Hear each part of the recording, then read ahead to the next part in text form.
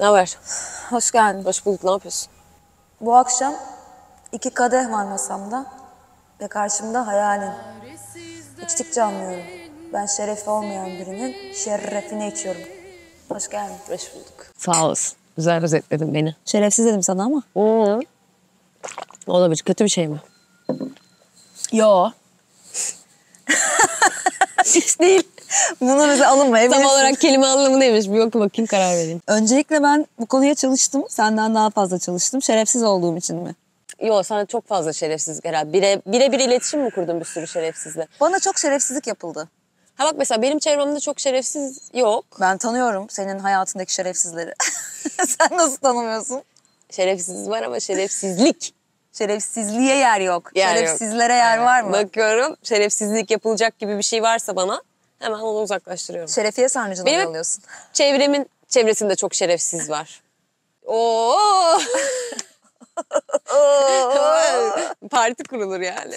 Şimdi Ayşenur şey. TDK'ya göre yani Türk Dil Kurumu'na göre şeref, onur ve haysiyet demekmiş. Bu iki kelimeyi de açmak lazım. Çünkü mesela biri bana şerefin onur ve haysiyet olduğunu açıkladığında onlar ne demek diyorum.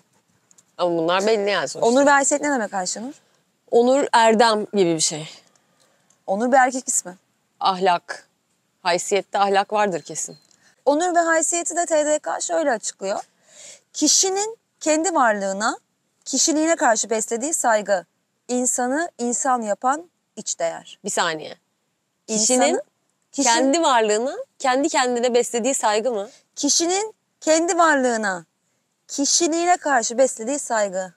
Yani derler ya, ulan senin kendine saygın yok be gibi şerefsizlik tam olarak da böyle bir şey. Yani kendine insan olarak hayrın yok ki sen nasıl bir oluşumsun, Anladım. nasıl bir varlıksın, nasıl bir e, nefes alıp veren bir canlısın ki bu kadar şerefsiz. Bu beni çok düşündürdü öncelikle. Çünkü yaşadığımız coğrafyada kendisine saygı duyan insanların çok olduğunu düşünmüyorum.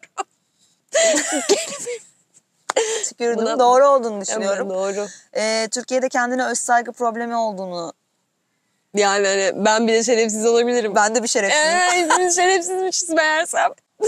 Anladım. Ama ben bir şey. sana bir de şöyle e, anlatmak isterim aslında şunu.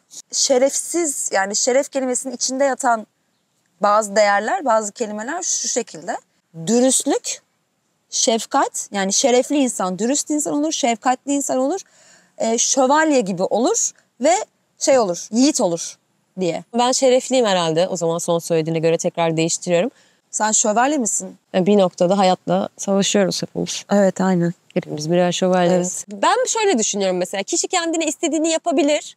Ama kişi başkasının özgürlüğünü, başkasının noktasını ihlal, ihlal ettiği noktada işte bir şey olursa yani birine zarar verirse şerefsizlik yapmış olur. Sen bu cümleyi nerede öğrendin? İlk, ilkokulda mı duydun? Yok. Başkasının özgürlüğünü ihlal etmeye başladığında biter özgürlük. Hoşuna gitti. Bu en basit cümledir çünkü. Evet. Hani ilk ilk böyle hayatla ilgili bir şeyleri öğrenmeye çalışan insanlar bu cümleyi Ha, ne diyorsun be? gerçekten Vallahi midem bulandı. belli ne bilecek- saçmalıyorsun sen? verilebilecek en klişe en genel örneği verdin ve bunu böyle Tamam hayat şerefsizlik yani dersi- düşünsene sen burada oturuyorsun şimdi. Ben geldim yukarıdan indim işte. Aa, bütün arkadaşlarımla 30 kişi birden parti yapmaya başladık burada. Seni rahatsız ettim. Şerefsizlik yapmış olduğum gibi bir şey. Şimdi madem bu konuya bu şekilde değindin, şerefsizliği anlamak ve anlatmak istediğini ben Mesela benim aklıma bir tane çok iyi şerefsiz saniye. geliyor. Çok özür dilerim. Bir saniye konu başlığını Tamam. vereceğim. Sen çalışmadığın için bugün Yok, çalıştım ben çalıştığım için.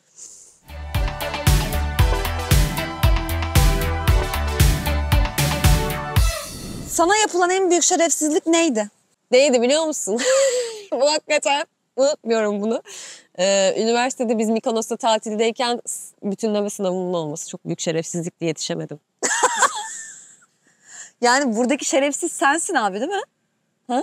Şerefsiz sensin değil mi? Çok Ama söylemediler Hiçsin. bana tarihlerini. Ben yalvardım, yalvardım, yalvardım. Beraber de tatildeyiz yani. Kendi doğum günüm için Mikonos'a tatile gitmişiz. Bir anda telefonum çaldı. Hop bütünleme sınavı var. Neredesin? Bu nasıl bir saygısızlık, nasıl bir anlayışsızlık ve Şok oldum. e, şimdi bir konusa tatile giden bir genç hanımı nasıl bütünleme sınavınız var diye sen geri çağırıyorsun ya da Uçak da yok. girmezsen buna girmezsen kalıyorsun diyorsun ki. Uçak da yok. Yani Uçak da nerede- yok, Neredeyse özel uçakla götürmüşsünüz Ha. beni oraya.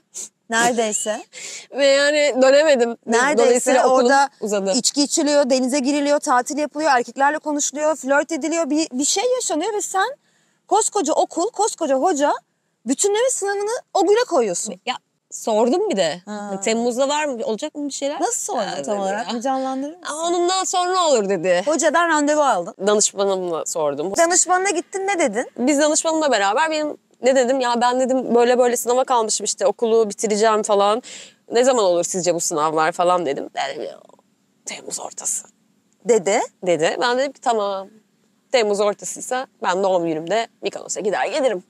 Üç gün abi denk gelmez herhalde dedim. Ve geldi.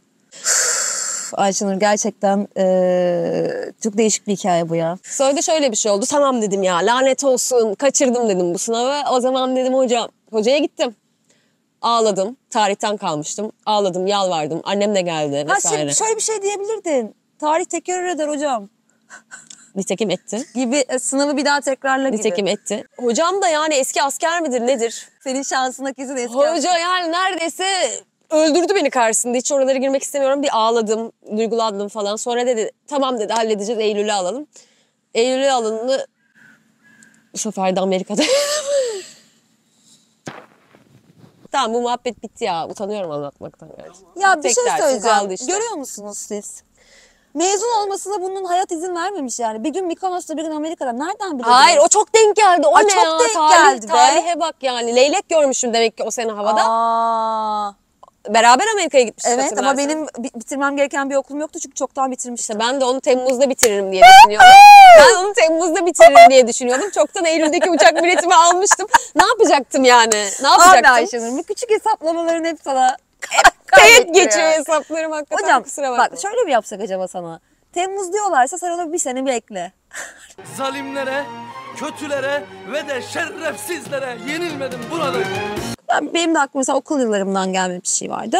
Biz biliyorsun aynı okula gittik seninle. Kardeş okulu vardı ve bunların sınavlarının biz seninle ne oldu? Aynı olduğunu fark ettik değil mi? Sen mi fark ettin onu? Sen fark ettin. Bir okulda bir sınav yapıldıktan bir hafta sonra bizim okulda yapılıyor aynı sınav. Ve aynı sınav yapılıyor. E sonra Ayşenur tabii ki buradaki cin e, bu soruları oradaki arkadaşından alıp yapıp kendi arkadaşlarına dağıtıp cevaplıyor. E ben de hemen kendi sınıfımdan birini buldum. Ben de bu tezgaha katıldım. Beni yakaladılar. Sonra müdür hanım beni bir gün boyunca odasında tuttu. Çok ağlattı beni. ve çok ağlattı ve hani hocam artık cezam neyse verin gideyim diyorum. Onu da yapmıyor. Meğerse bizim okulun disiplin cezası verme yetkisi yokmuş.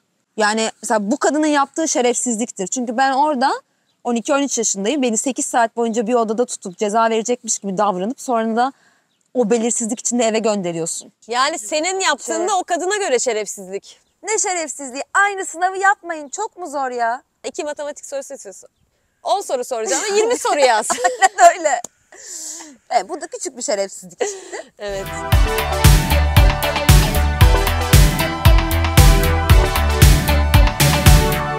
Ben esas şerefsizliklere gelmek istiyorum. Bir tane başıma gelen bir şey anlatıyorum. Hadi bakalım. Onu da ilk kez anlat. Eski erkek arkadaşım benim.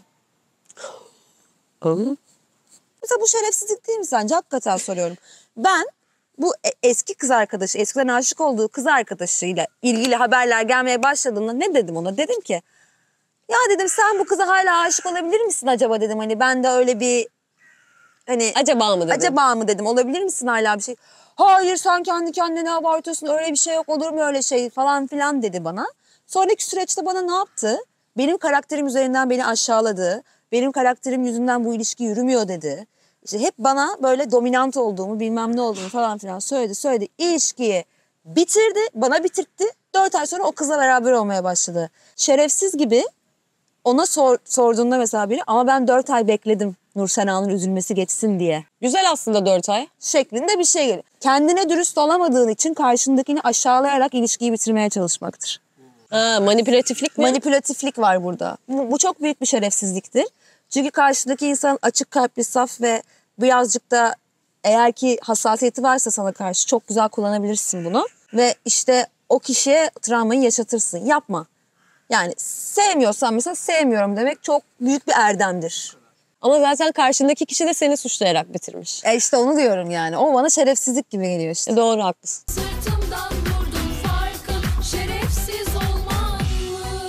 Ya da mesela ilişkilerde aldatmak.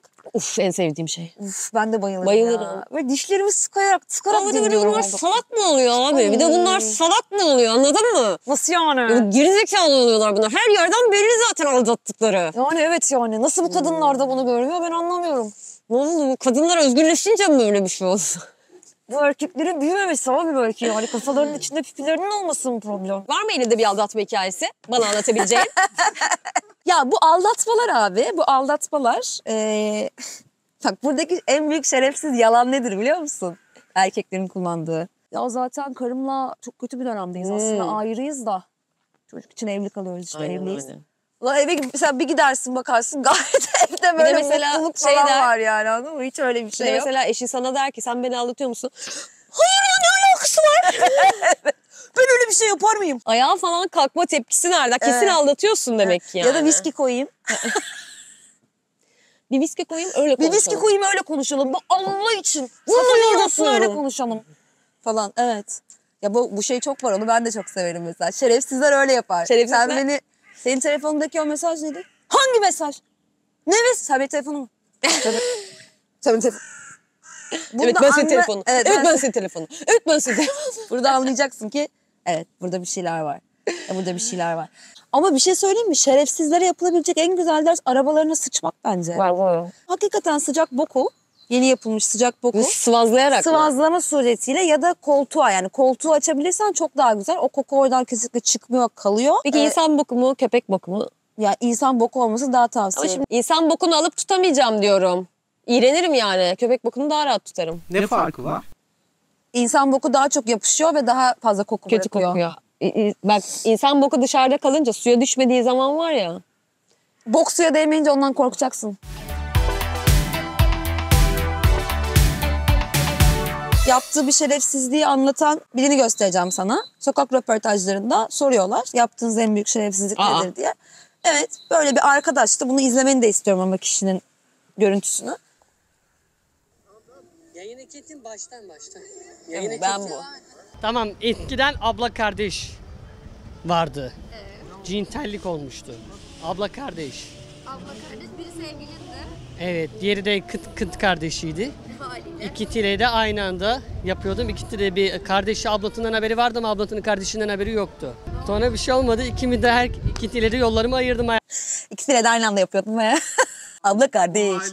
Bir de bunun başında şey yapıyor. Beraber geldiği kişiyi uzağa göndererek hani mikrofonu açıklıyorlar. Yani o kişiyi uzağa gönderiyorsun ya daha fazla kişiye açıklama yapıyorsun Ben aslında. inanamıyorum. Evet evet. Ama ben Mesela böyle... sence bu şerefsizlik midir abla kardeşle birlikte yani olmak? abla kardeş okeyse. İşte kardeş okeymiş abla değilmiş. Abla bilmiyormuş yani. kardeş de bir şerefsiz burada tabii ki ya. Kardeş de bir şerefsiz bu arkadaş. da Yani bir inanamıyorum. Bir kara delik gibi Bir kara yaşadığı delik gibi, ortam. Yani ablam okey değil. Yani ben e, ablamın sevgisiyle beraberim ama ablam okey değil Evet. gibi bir Yani. şey. Mesela sence biri şey demiş mesela bu sokak röportajlarında izledim. Hayvan yemek bir şerefsizliktir demiş. Hayvan yemek. Doğru. İşte yine hepimizin şerefsiz olduğu konusuna geri dönüyoruz. Bence de hayvan yemek şerefsizlik abi. Et yemek. Küçükken onu öpüyorsun mesela görsen yani hepsi köpek gibi. Da Anneannem de diyor girmeyelim. ki diyor şey yapalım diyor. Yalova'daki yazlığa tavuk alalım diyor. Şeyde de keseriz diyor. Yaz sonu. İki yüzlülük gibi geliyor bana. O nasıl yani çocuğunu mu keseceksin abi? Yani bu- bunlar hoş şeyler değil bence. Bir tüylerim diken diken oluyor. Ha bir dakika ben çok büyük bir şerefsizlik hikayesi biliyorum. Bunu arkadaşımızın başına geldi. Bunu anlatmak isterim. Arkadaşımız bir tane long distance relationship yaşıyor. Yani Hmm. Bunu İngilizce de anlatmamız gerekebilir. ilişkisi yaşıyor aslında. İngilizce de anlatabiliriz bunu gerçekten. Dört ayda bir, üç ayda bir falan görüşebiliyorlar ve uzun süre orada They vakit geçiriyorlar like falan. three months, four Yeah, months. yeah, three months, four months. Bizim arkadaş gidiyor sevgilisini görmek için. Memleketine gidiyor işte sevgilisinin memleketine gidiyor. Ecnebi memleket. ecnebi memleketine. O da orada diyor ki Oh, işte ha darling diyor. Benim de akşam diyor I had a plan diyor for, for today diyor. Biz ben diyor climbing'e gideceğim mountain diyor. climbing'e gideceğim diyor. Çok özür dilerim. Çok önceden bunu ayarlamıştım diyor. Gitmem lazım. Bizim arkadaş da diyor ki tabii, Tabii ki diyor. Aşkım tabii ki git. Mountain climbing senin için önemliyse. Kaslanırsın. Aa. Sonra bir ortaya çıkıyor ki mountain climbing'de sen date'e çıkmış bu. Ve bunlar bir şey söyleyeceğim. Çok uzun süredir beraberler diye düşün. Yani nişanlanacaklar falan öyle bir şeyde.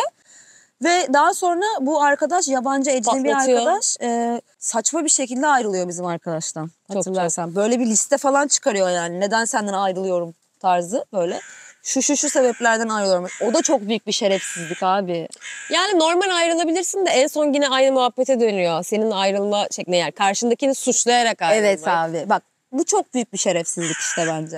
Ama bütün ilişkiler de böyle ayrı- bitmeye mahkum gibi geliyor bana bazen Hayır. ya. Niye? Ya sevgim bitti. Eyvallah. Ya İşte özür kimse dilerim. kimseyi anlayışlı karşılamıyor ama. Arkadaş benim sevgim bitti. Bye. Nasıl sevgim bitti?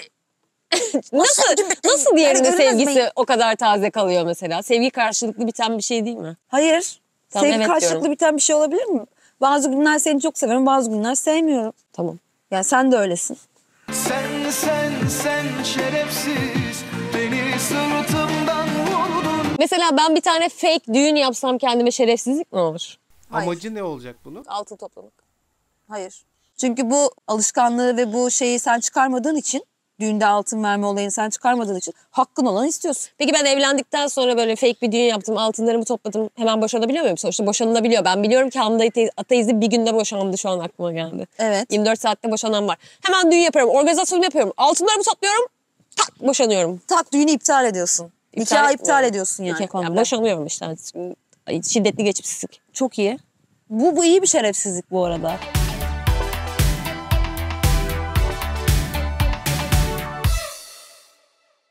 Ee, bir de ben sana mesela bugün şöyle bir çıkarımda bulundum. Kendi hayatımla ilgili sabah ağlıyordum. Hı. Bana Bazen-?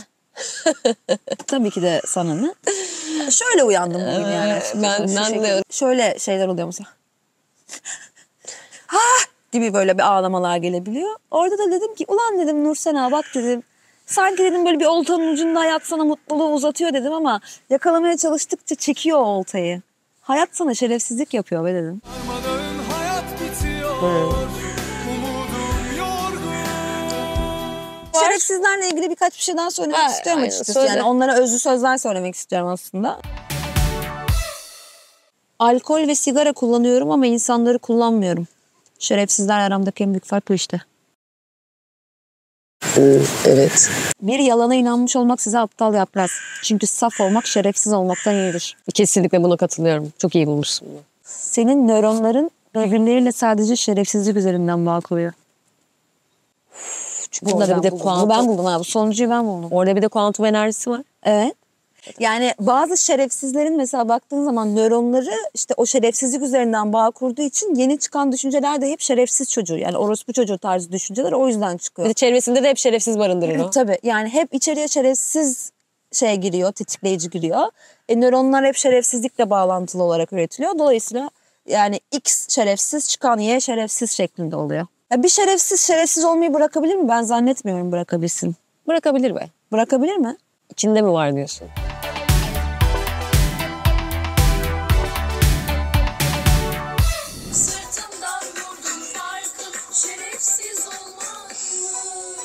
Memnun oldum. Hiç şerefsiz görmemiştim.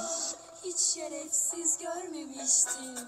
Gerçekten size yapılan en büyük şerefsizlik bu kadar aldatmadan bahsettik mesela. Size yapılan en büyük şerefsizlik ve dürüst olun ama sizin yaptığınız en büyük şerefsizlikler nedir? Yorumlarda görmek isteriz. Şu tarz şerefsizlikler. Evet. e, ayrıca kanalımıza abone olursanız bizi çok mutlu edersiniz. Bunu söylemiyoruz çünkü Cooluz. Cooluz. Ama cool ol, yani cool olarak da kanalımıza abone. Şimdi cool olarak Ayşenur rica edecek kanalımıza abone ol- olmayı. Rica eder misin? Bir saniye. Cool olarak. Benim bir şey çok bir şey Ya sen kendin olarak her halim iste, cool. evet. Ee, abone olabilir misiniz acaba?